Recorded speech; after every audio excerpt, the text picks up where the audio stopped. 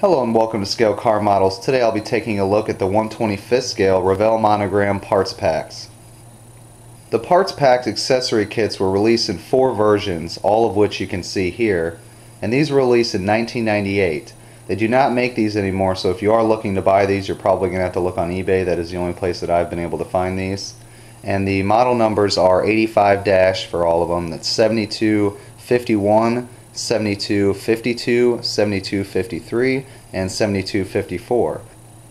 Now one thing to note before I start unboxing and showing you guys all the uh, details on all the parts, these are all similar kits. Some are just engines, some are engines and transmissions, some have stock options, some have drag racing options or uh, other type of non-stock options that you could put on there and they all are a single chrome plated parts tree and the instructions are printed on the back and I'll show you guys that more right now.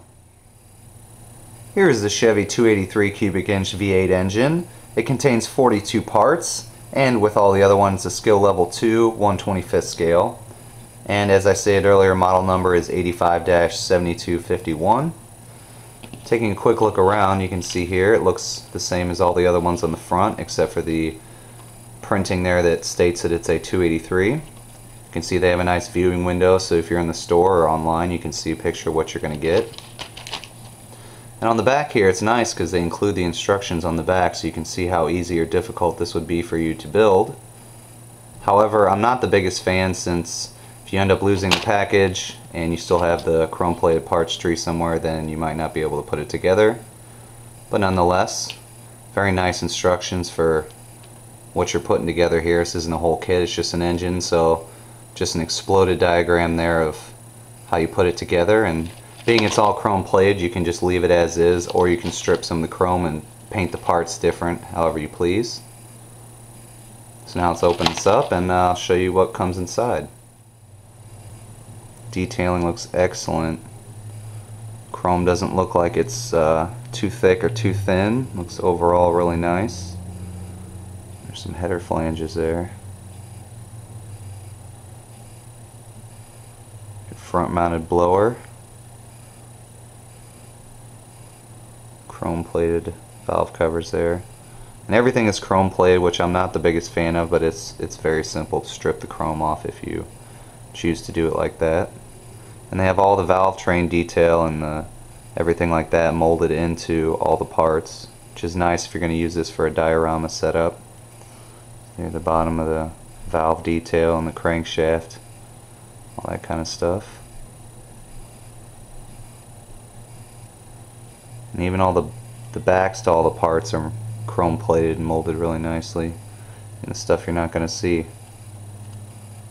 So there is the 283 the Cadillac 354 cubic inch V8 engine probably the most rare out of these four that you're going to find as far as uh, aftermarket accessory packs and stuff like that. This one only contains 36 parts, skill level 2, 125th scale, 7252 for the model number, and like I said it looks the exact same on the front.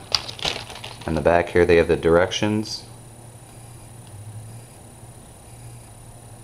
And then this one you can build these ways here as you can see.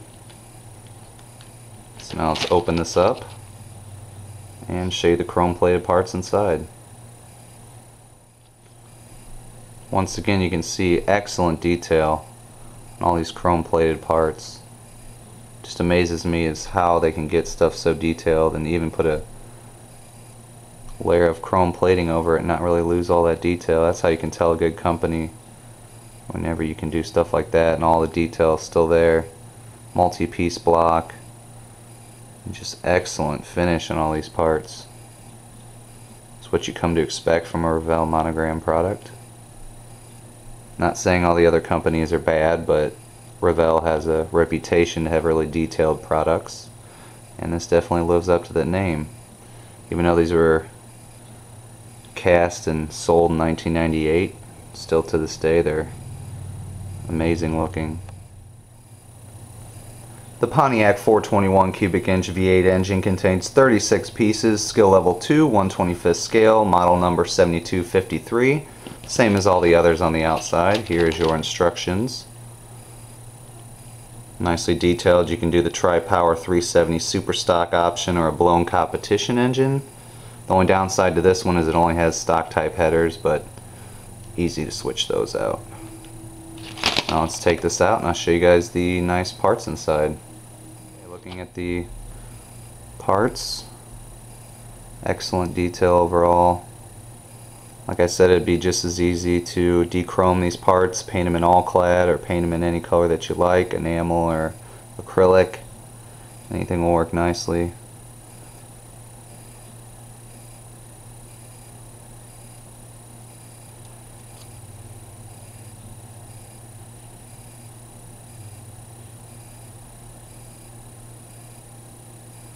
And I really like that they add the detail of the valves and everything like that inside so if you don't want to put this in a car you want to have it out somewhere like in a diorama or just to show it off halfway built you have the option to do that.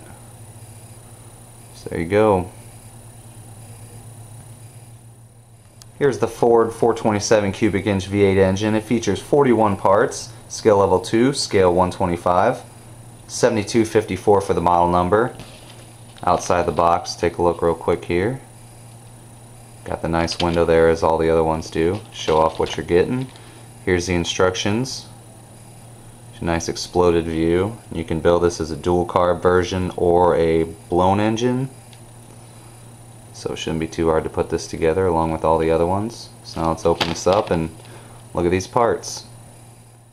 Excellent detailing on everything very nice application of chrome plating across all the parts as far as I can see.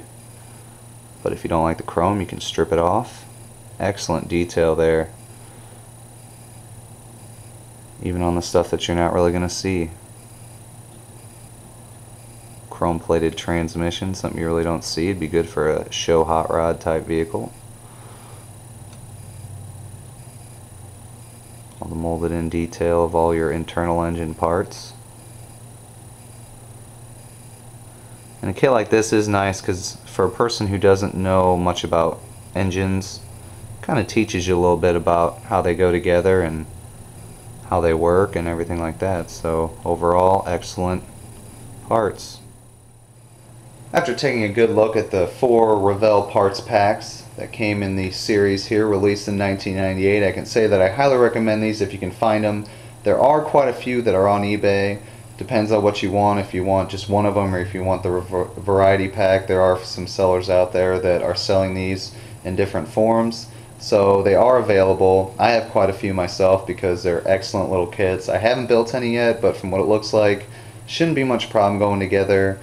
Just like any other kit you know especially from a few years ago there's going to be a little bit of trimming and stuff that you're going to have to do to prepare the parts to be perfect. But overall guys the finish the um, the casting and everything like that is just excellent and I highly recommend these. So if you see these definitely pick them up before they're gone because you know they don't make them anymore so they're only going to last so long until people build them all or collect them and don't want to get rid of them so that's my uh, take on these guys. Let me know what you think. Comment rate subscribe. Thanks a lot for watching. You guys are a great audience and I'll talk to you guys soon